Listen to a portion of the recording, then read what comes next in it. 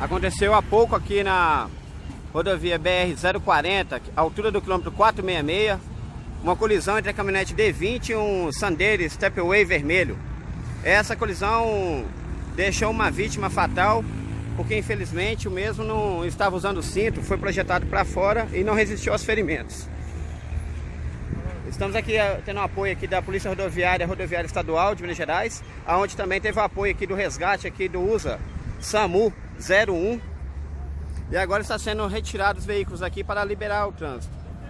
Eu, Denis Aparecido Valério, bombeiro civil, auxiliei aqui nos primeiros socorros, chegando primeiro e logo posteriormente o SAMU. E fizemos aqui um trabalho em conjunto para auxiliar as vítimas, que foi duas vítimas leves, o motorista da caminhonete com suspeito de fratura na perna direita. Fica aqui o aviso para a sociedade usar o cinto de segurança que ele salva vidas.